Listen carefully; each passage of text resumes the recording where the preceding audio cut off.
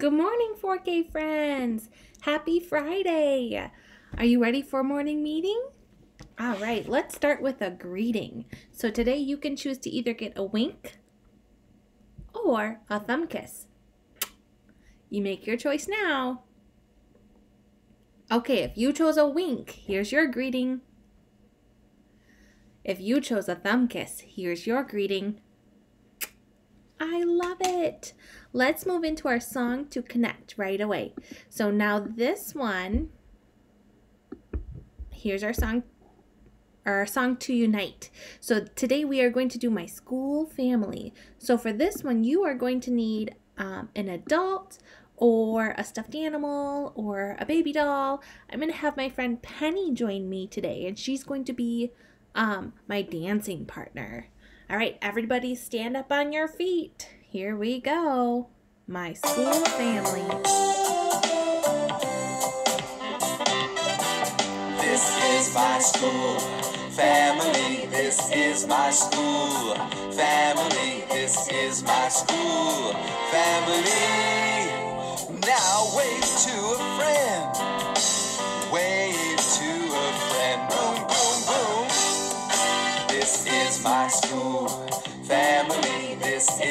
my school family. This is my school family. Shake hands with a friend. Shake hands with a friend. Boom, boom.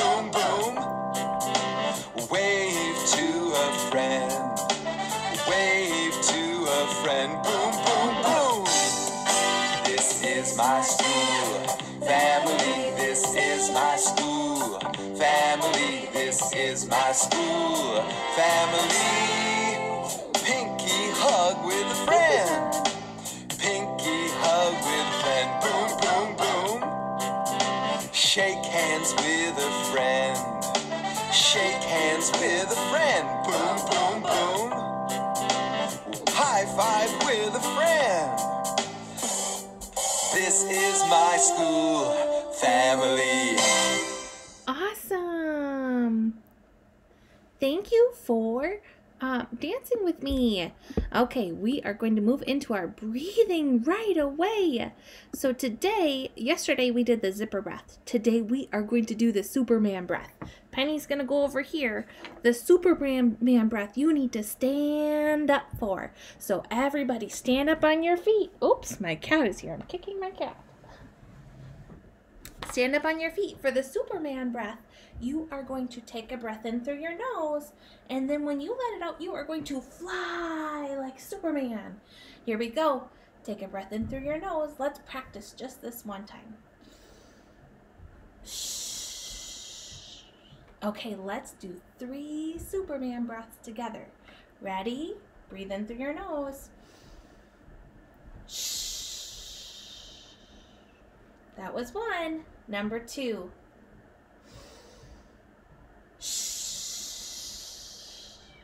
Number two. Now number three.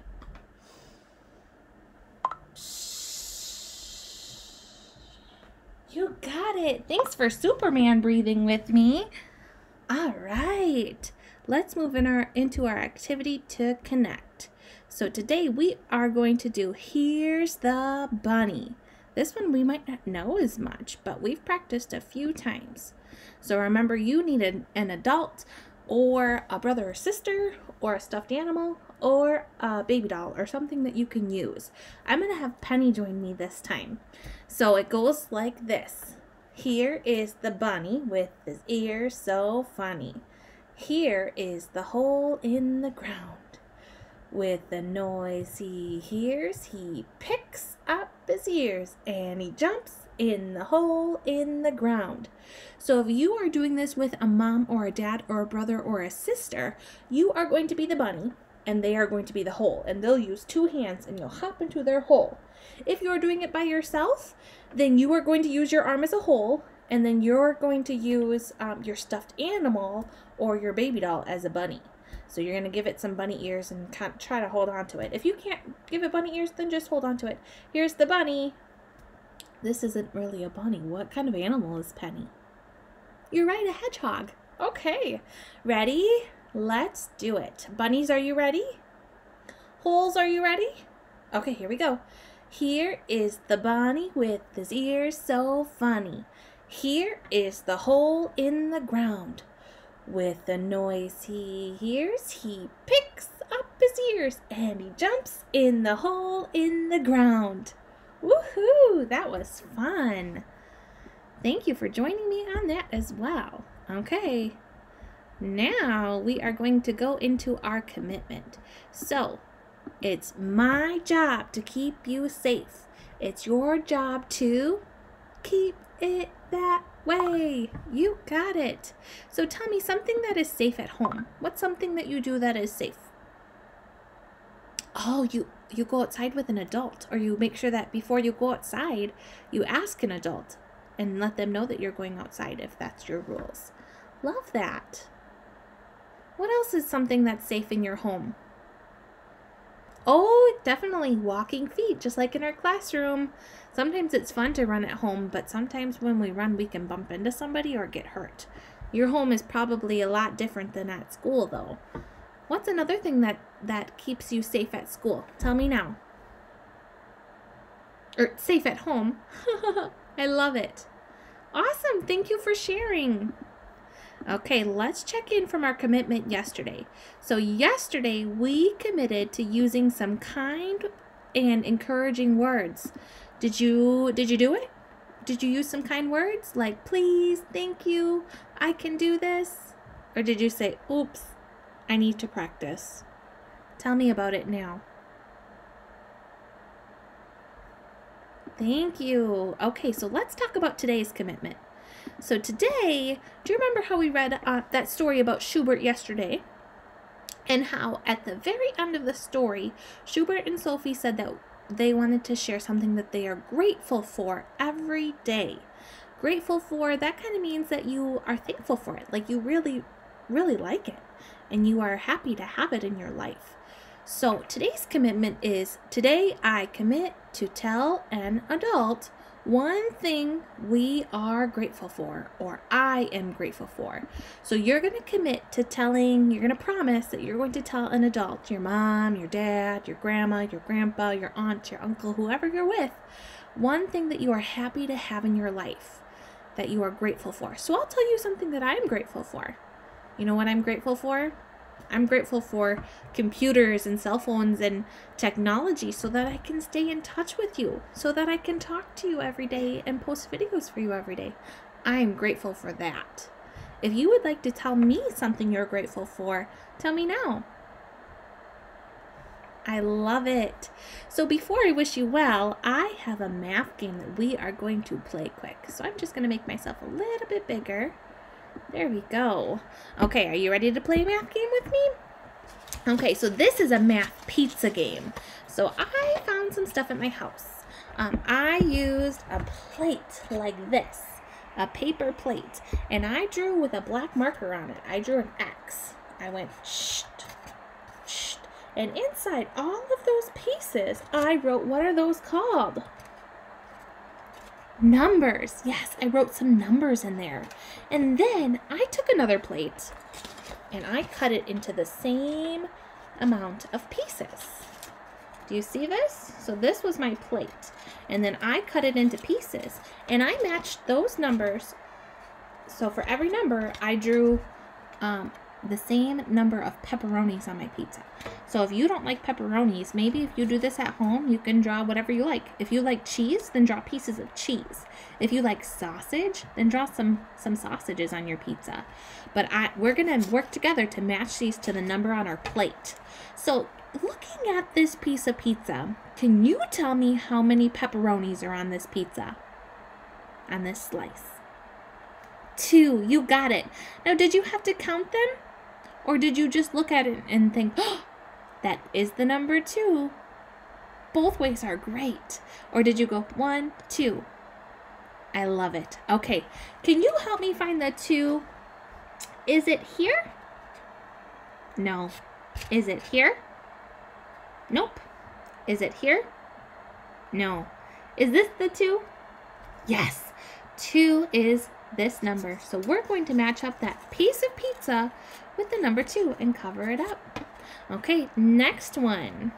let's count how many piece how many pepperonis are on this slice of pizza. Can you tell me how many pepperonis are on this slice of pizza? You got it. There are six. Let's count them. One, two, three, four, five, six. Six pepperonis. Now, can you help me find the six? Is this a six? No. Is this a six? Yes, this is the number six. So we are going to match up our six pepperonis with the six on our plate. And mine doesn't match up exactly because I didn't cut them very evenly, but that's okay. Okay, next one.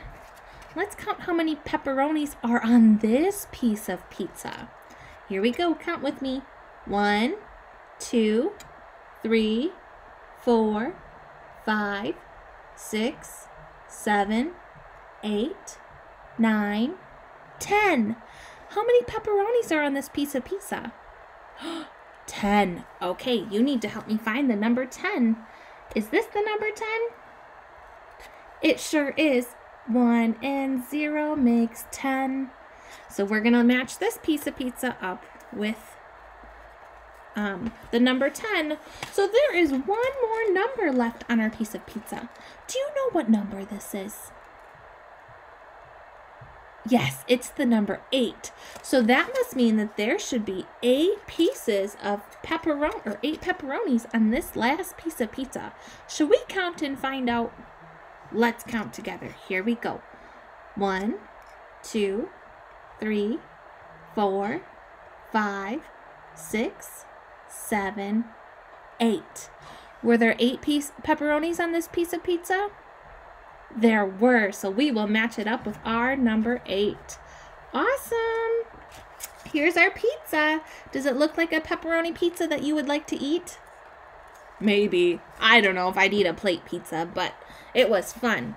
So if you would like um, directions on how to make that activity at home, or if you think you can do it without directions just by um, watching the video, then um, have your mom or dad take a picture and send it to me so I can see your pepper- pepperoni pizza counting.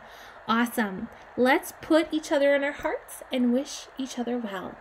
So here we go. I'm putting all of you in my hearts and your families. Ready? Take a deep breath.